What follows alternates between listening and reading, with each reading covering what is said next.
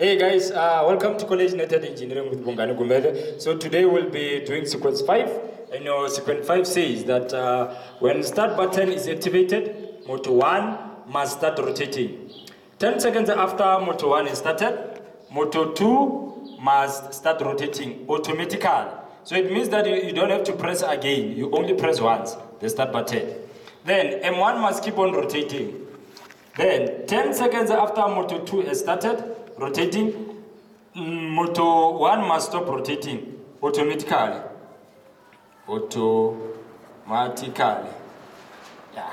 So motor 1 must stop rotating automatically without you stopping it. While motor 2 continues to rotate. So I will only draw the control circuit. Go and watch sequence 1 for your uh, main circuit.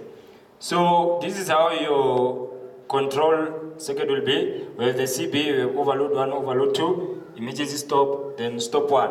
Then I'm just going to explain the tricky part. This one we all know how it goes. So we are going to have, first of all, we are going to have one start button. But we are going to have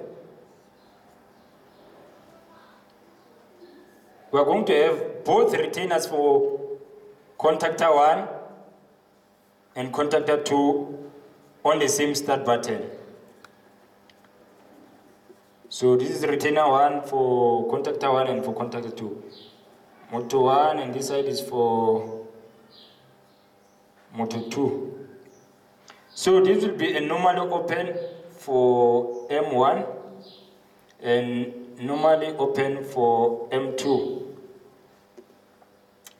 Hope you'll see 13, 14, motor 1.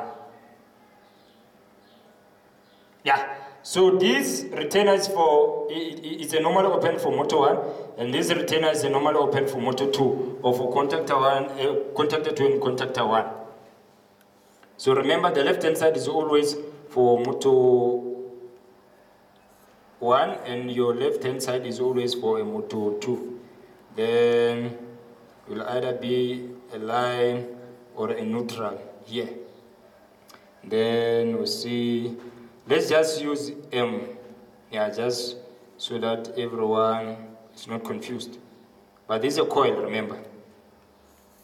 So, we are going to have two coils. This is for motor 2, A1, uh, A1, A2. Yeah. Then connect it like this. So remember the statement stay, says that uh, your motor 2 must run automatically 10 seconds after motor 1 is started. So we're going to introduce a timer. And our timer will be a delay on.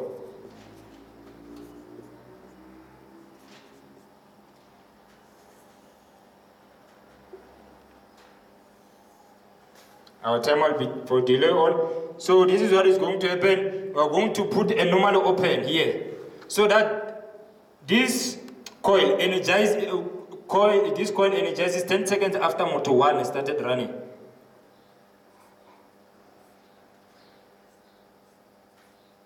So it's a normally open of timer 1. Aha. And then, remember the statement says also, 10 seconds after motor 2 has started rotating, motor 1 must stop. So we're going to introduce another time. It's going to be a delay on.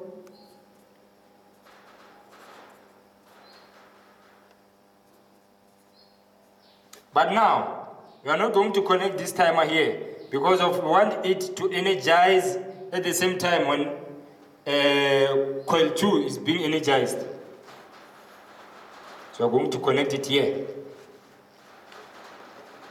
Okay, let me see. Yeah, but now remember we said that uh, motor 1 must stop 10 seconds after counting. So it, uh, after motor 2, uh, motor 1 must stop 10, uh, 10 seconds after motor 2 has started. So we are going to introduce a normal open here. Going to be a normal open of timer 2.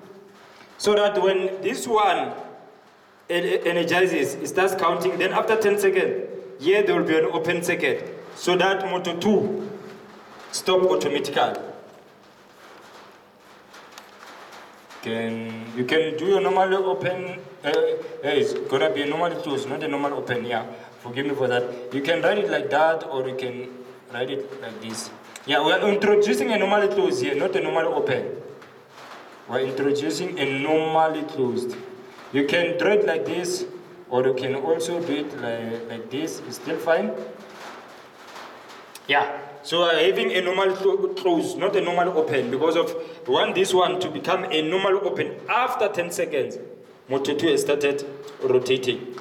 So this is how your circuit should look like. And remember, we don't connect this timer here. I know many people love it to connect it here. But if you connect it here, remember, when uh, motor 2 rotates, after 10 seconds, going to be an open circuit here. And what happens to, to this timer? It de-energizes, and when it de-energizes here, it has to become a, a normally closed, a, a normal open, because remember, when after 10 seconds, this one will become a normally closed. But when you de-energize it, it's going to become a normally open. And remember, we say that uh, 2 must continue to run. So for us to be able to make 2 to continue to run, we connect it here. We connect it there, not here. So this is how your circuit should look like. Normally close of timer 2. Yeah, so that's it. Thank you for watching. Let's meet on the next video. Uh, don't forget to like, uh, share, and subscribe. Uh, it's very simple. Just have to understand that 10 seconds after you have pressed the start button, motor 1 must start rotating. Then after, uh, motor 2 must start rotating. Then after 10 seconds, motor 2 has started. Then motor 1 must stop rotating. But don't stop the, don't stop uh, timer 1. Let it continue to be energized so that that coil, the, the normally uh, closed, it stays a normal closed. Otherwise, it will become a normal open. Thank you for watching. Sharp, sharp.